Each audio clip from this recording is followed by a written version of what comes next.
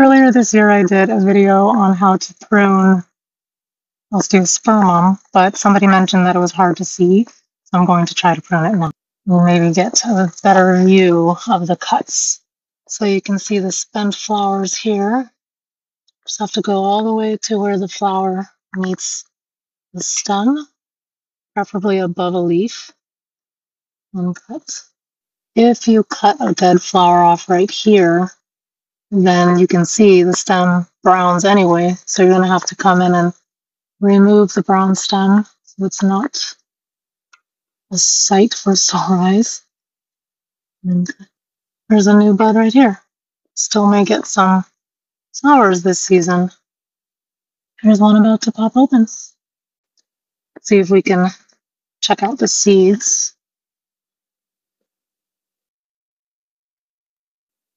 These are all little seeds right here.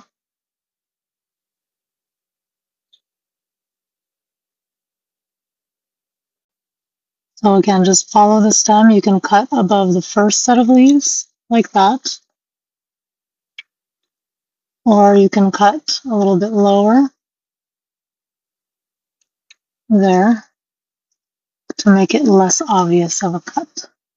Here's a better view of the full stem. You can cut above this leaf, above this leaf, or you can take it all the way down. You can pinch it, that's great too. Now you can't even see it was there.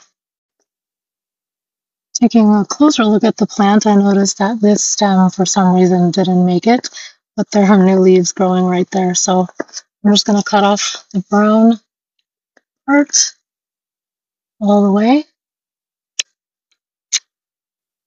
And let the rest do its job. Removing these bent flowers helps it bloom more, but at the end of the season, you can let it go to seed. Here's an example of a bud that didn't make it. You can just remove that. You can try to pull it away if you'd like, um, but it's not going to flower once it's brown like that.